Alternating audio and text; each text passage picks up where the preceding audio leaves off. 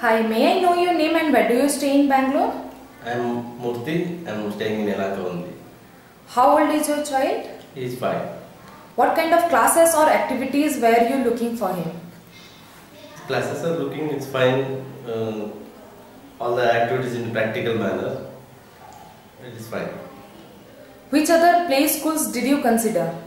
So uh, before coming to this, I was sent to I with uh, EuroKids and straight away come to this uh, Jumbo Kids. Which one did you finally choose and why? Finally, I choose the Jumbo Kids because of the locality and hospitality and as well as the principal's suggestions and uh, in future plans what we are uh, put it to child is good. Based on your experience, tell me two best things about Podar Jumbo Kids Yelahanka.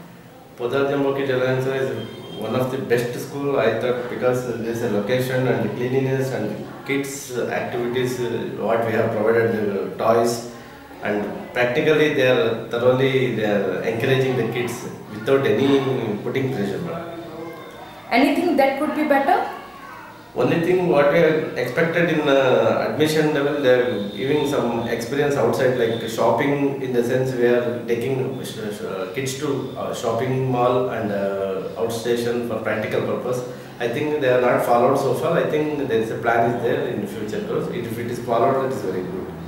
On a scale of 1 to 5, how likely are you to recommend Podar Jumbo Kids Yelahanka to other parents? I'm straight away give to outstanding compared to other things. Uh, sir, number 1 to Number four. Thank you, sir.